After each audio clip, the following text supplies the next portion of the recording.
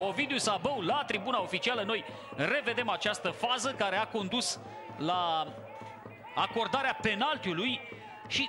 dați-mi voie să spun că Adrian Cojocaru are dreptate, chiar dacă decizia este una care îl face ne